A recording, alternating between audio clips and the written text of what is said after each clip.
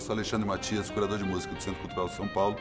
E a gente está, durante esse mês de outubro, dentro do Mês da Cultura Independente, que é uma programação da Secretaria Municipal de Cultura, realizando um projeto chamado Bicho de Quatro Cabeças, que reúne as quatro principais bandas independentes de São Paulo hoje.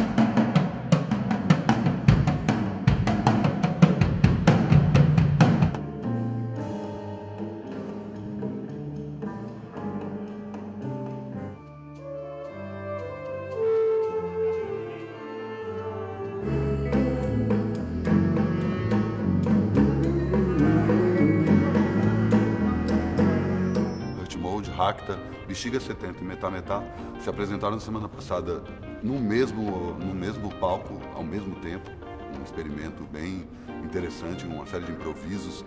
E durante o mês a gente vai ver não só shows dessas bandas especificamente, mas também dos projetos paralelos de todas essas bandas. Tudo de graça na Dona Barbosa. Fique ligado no nosso site aí para saber da programação.